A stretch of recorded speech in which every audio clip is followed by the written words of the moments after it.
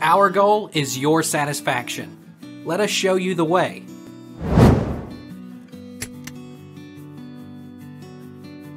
What is the meaning of entendre? The definition of double entendre, which has French origins, is a twofold meaning, or double meaning.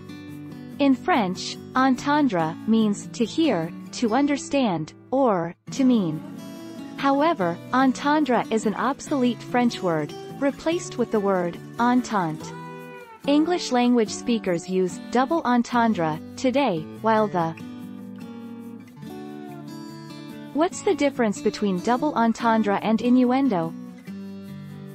Difference between innuendo, double entendre, and euphemism A double entendre is always used in a funny way, and is not necessarily meant to hurt anyone. Innuendo, on the other hand, can be used in a negative way to poke fun at, make fun of, tease, someone or something.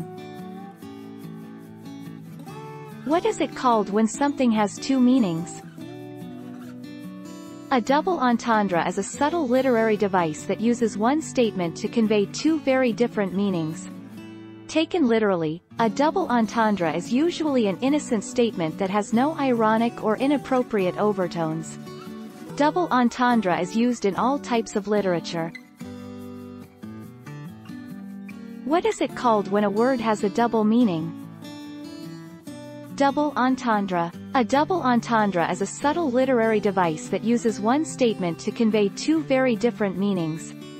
Taken literally, a double entendre is usually an innocent statement that has no ironic or inappropriate overtones. Double entendre is used in all types of literature.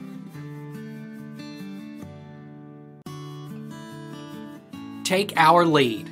Let's help you make your mark.